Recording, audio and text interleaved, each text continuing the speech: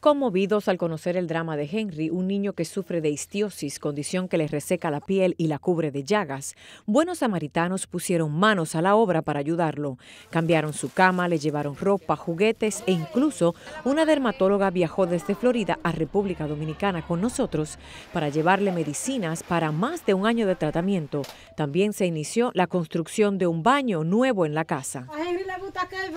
Y de allí a la escuela para saber cómo pasa sus días Henry quien al inicio de esta historia nunca había asistido a clases por temor a las burlas.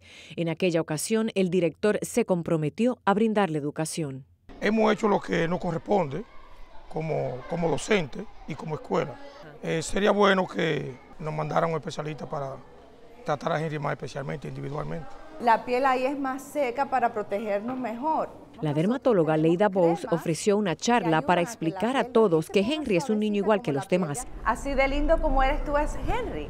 Y que solo tiene un problema en la piel. También aprendieron cómo ayudarlo en caso de ser necesario. Porque ustedes ahora saben sobre una condición de piel seca. Yo diría un aplauso para todos.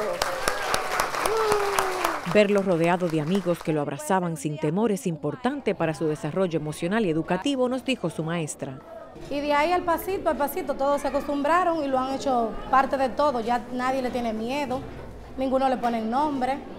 Él puede aprender poquito a poco porque él hace bien clara las letras en esa parte se puede tratar y se puede ayudar lo más que se pueda. Igual de importante es que Henry vuelva a ver a su único hermano Enrique, a quien su padre se llevó tras abandonar a su madre, quien ahora lucha sola para sacar adelante a este niño.